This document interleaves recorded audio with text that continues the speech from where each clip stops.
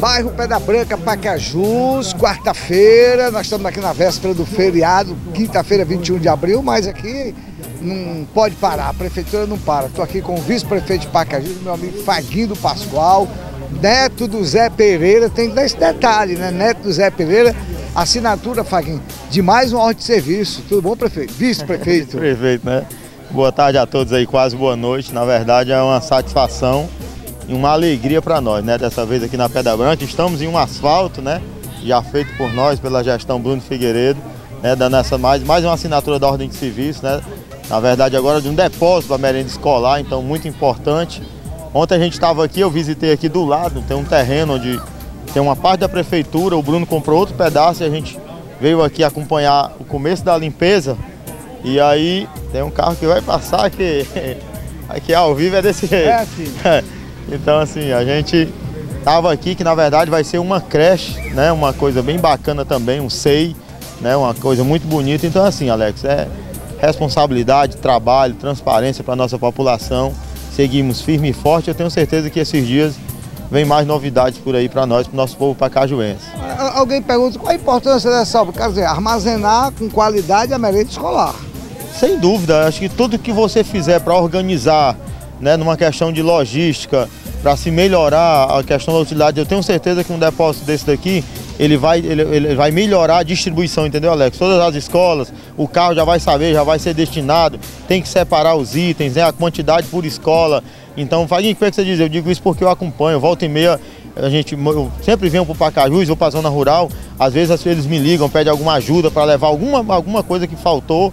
Então, assim, essa logística é muito importante para o funcionamento. A gente sabe que hoje as escolas estão funcionando em tempo integral, Alex, então quem queira que não exige muito, né? A questão da alimentação, se eu não me engano, são quatro refeições por dia, né? São, então, isso tem que ser uma, uma logística e eu tenho certeza que a gente está no caminho certo, trabalhando para isso, para levar essa comodidade, na verdade, esse bem-estar para os nossos alunos. Deixa eu aproveitar a carona aqui rapidinho. Zona rural, estradas, chuva, muita reclamação, estradas algumas com dificuldade de, de, de trânsito. Como é que está a situação na zona rural das estradas? Pascoal, Paulicel, Mari, Formoso? Obviamente que quando passar o inverno vai ter que ter uma operação emergencial. Pois é, hoje mesmo já estava conversando com o Ednato, semana passada estiou uns 4, 5 dias, a gente onde dava para se passar a patrol, a gente conseguiu, realmente tem algumas poças d'água, entendeu Alex? É muito grande. E essas a gente, a população, né, vai precisar ter um pouquinho de paciência que pronto, desde ontem não chove, a gente pegar mais segunda-feira, tipo, não choveu, nós tem que cair em campo realmente uma força-tarefa para começar esses tapa-buraco, esses maiores. Aonde está dando para passar a patrol, a gente já está chegando com ela para ir passando, mas tem muitos cantos que precisa realmente desse aterro, que precisa de um material. E diga-se de passagem, pessoal, não é qualquer material. Eu fiz isso já algumas vezes e eu mostro para as pessoas, Alex, se o chão está molhado e eu tenho um material molhado, se eu colocar em cima, vai virar um massapê. Aí as pessoas, às vezes, na, na, na, na ânsia de... Faguinho fácil, eu digo, eu vou fazer, mas se piorar, eu quero que você entenda que eu estou avisando antes. E foi feito alguns três serviços, as pessoas me ligam, olha só, Faguinho, ficou pior do que o que estava. Eu digo, não é falta de aviso, a gente né, já está há cinco anos nessa vida aí, né, na vida pública, sempre tentando melhorar e a gente sabe hoje o que é melhor para a população e a hora de fazer.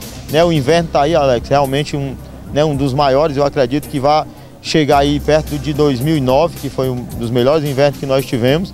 Então acredito que vai dar aí 1.500 milímetros aqui na, na nossa cidade. Então é muita água, né? Não é todo ano que isso acontece, mas a gente vai ter que lidar com esses transtornos nesse momento do inverno. Obrigado, Faguinho. Valeu, um abraço. Aproveitar e conversar aqui com o secretário de Educação, Darlon Oliveira. Vocês podem ver aqui do lado, é o prédio, que, onde, o local onde vai ser construído a, a nova, o novo depósito da merenda escolar. Darlan, finalmente a Secretaria de Educação vai ter um prédio adequado para o armazenamento da merenda escolar. Boa tarde, Alex. Boa tarde a todos que estão nos acompanhando. Nós tínhamos até a questão do prédio da merenda escolar, só que é, tem um novo projeto, um projeto mais grandioso para aquele espaço ali que é do lado municipal, né? Só que nesse momento precisava de uma reforma bem maior. E aí por conta dessa ideia de um projeto de um centro cultural que nós vamos fazer lá, que vai vai ter uma movimentação bem maior de pessoas, porque é no centro do município. Aí nós estamos trazendo agora é, a construção do, do depósito da merenda aqui para esse local, que é um prédio próprio, né, que foi fechado já, já há algum tempo, era uma creche aqui na Pedra Branca, né? E aí nós, com isso, nós vamos estar tá resolvendo dois problemas, né, Alex? O problema era que a, a, a, questão de botar um prédio efetivamente em funcionamento, né? E fazendo com que é, algumas coisas que poderiam estar acontecendo aqui desse, dentro desse espaço, né, de mato e tudo, não aconteçam, né?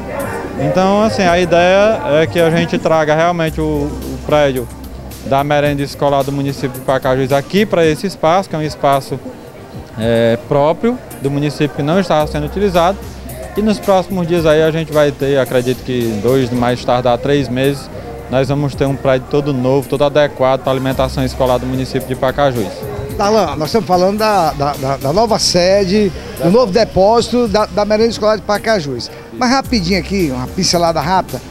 E o funcionamento das creches, três creches que estão paradas há muito tempo, tudo pronto, tudo, tudo bonitinho, faltava apenas que a Enel fizesse a rapaziada, que era a ligação da energia. Duas já estão ligadas, falta só uma.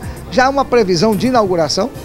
A previsão de inauguração, se tudo for, for permitido, né, lógico, tudo com a permissão de Deus, é que seja já na próxima semana, no final da próxima semana. A Enel fez a ligação no decorrer, é, no final da semana passada e nós estamos é, procedendo só com todos os testes, Alex. É porque assim, nós tínhamos ligado, tinha feito todas as ligações da parte de dentro, ar-condicionado e tudo. Só que agora com a energia efetivamente ligada por parte da Enel é que nós estamos fazendo todos os testes necessários, né? Como o prédio é muito grande, aí está tendo só a questão do, dos detalhes finais e essas ligações para quando as crianças estiverem dentro, né? Esses testes para quando as crianças estiverem dentro do prédio não ter nenhum tipo de percalço ou problema. Então, é, nós achamos por bem, né? O prefeito achou por bem que fizesse né, a, a inauguração lá na próxima semana, então acredito que isso não vai mudar, mas vai ser informado mais objetivamente né, para toda a população, por meio de divulgação, em mídias e tudo. Vai ser feito um banner. Vai ser um grande evento, né? vai ser um momento de. Como Festa, merece, né? Como merece. Eu acredito que assim como, como essa ordem de serviço aqui, que é uma ordem de serviço, você está vendo que já tem uma movimentação grande das pessoas, graças a Deus o Covid está passando, né? Nós hoje já vimos a questão de a não obrigatoriedade das máscaras, né? E lá vai ser um grande evento com pula-pula, brinquedo, pipoca, algodão doce para as crianças de antemão.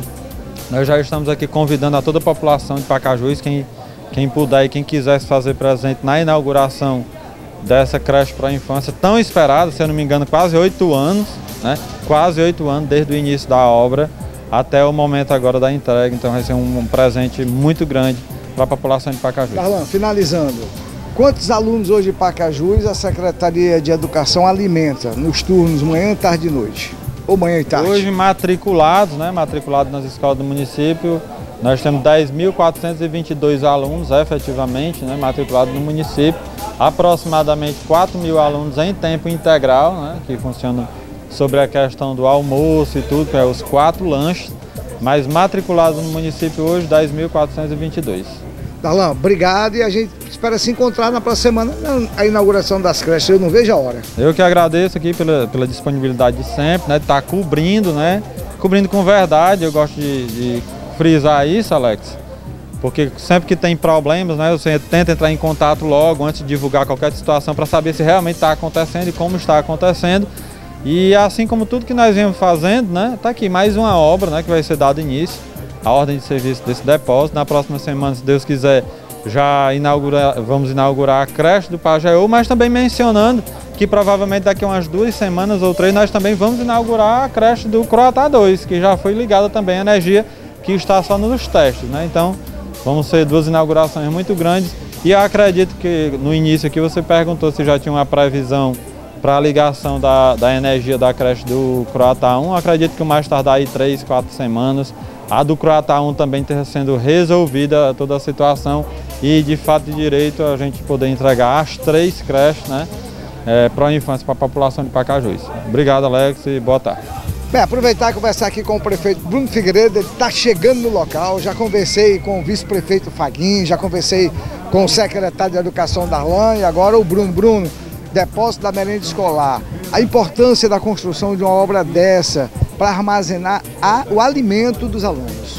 Na verdade, Alex, assim, primeiro um prazer aqui estar com você, né, sendo entrevistado. É, esse depósito, ele não é simplesmente assim para questão de armazenamento, até mesmo porque a gente já tem um local para armazenar, tal, não está muito adequado, mas aqui vai dar estrutura nessa questão de mobilidade referente às escolas de tempo integral, né? Com a construção e a ampliação dos colégios de tempo integral, a quantidade de alimentos distribuídos é, chega a, a ser quase 10 vezes maior. Então a gente precisa de mais espaço, precisa de mais organização, precisa sair do centro da cidade para que a gente possa ter um trânsito de caminhões entrando e saindo mais fácil, para que possa fazer essa distribuição nos colégios, né? E tenha também um, um controle maior na questão de, de na questão de, de é, como é que se diz, de informatização, entendeu? E que aí a gente vai fazer isso tudo informatizado para que os colégios possam ter é, é, essa quantidade de alimentos na hora certa, tal, tal, tal. Então, ô, ô, Bruno, toda essa estrutura é para isso, é para ter essa facilidade. A gente sabe que muitos alunos da rede pública, a única refeição que eles fazem é a da escola. E nós temos em Pacajus várias escolas já com tempo integral, são quatro refeições por dia. Quer dizer, essa alimentação uma alimentação é, com nutricionista, tudo, tudo adequado. Como é que está o alimento, a alimentação dos alunos? Está tudo ok, Bruno? Está tudo ok, Alex. A gente é, é, por sinal, assim, quando eu entrei na gestão, né, era muitos problemas de alimentação. Eu lembro muito pessoal reclamando de alimentação e hoje a gente faz tempo que eu não vejo. Eu não sei se você está vendo esse, não, esse tipo não, de reclamação, mas não. eu não vejo esse tipo de reclamação. Por quê? Porque realmente a alimentação está sendo de primeira qualidade, né? em quantidade suficiente, de primeira qualidade. Temos peixe, temos carne de frango, temos carne, né? Nós temos uma variedade de frutas, legumes. Então tudo está sendo bem pensado para que essa alimentação seja realmente é, aquela alimentação reforçada para as crianças. Como a gente sabe que muitas crianças não têm essa alimentação em casa e está tendo agora né, nos colégios. Então é uma força-tarefa para que a gente possa melhorar todo o contexto né, da alimentação. Bruno, para encerrar aqui, sei que você, o senhor já está esperando, mas vamos lá. Está chegando a hora, eu vou dizer o que é. Nós temos três creches que já era para estar funcionando. Tá né? O problema da energia elétrica, duas a Enel já resolveu, a terceira já vai resolver. Qual é a sua expectativa para entregar logo essas creches? Tá tudo ok, Bruno? Aquela expectativa assim da, da mulher quando vai dar a luz, né? A gente fica na expectativa e literalmente é a luz, né, que vai chegar.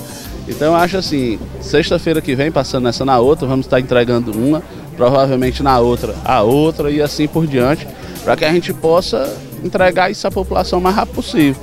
E não é só entregar a creche, é entregar um serviço de qualidade, tempo integral, alimentação correta, né? o, o, o próprio ambiente diferenciado, né? com ar-condicionado, as salas. Então é um, uma nova vida para a educação do nosso município. Então nós vamos ter creche de qualidade.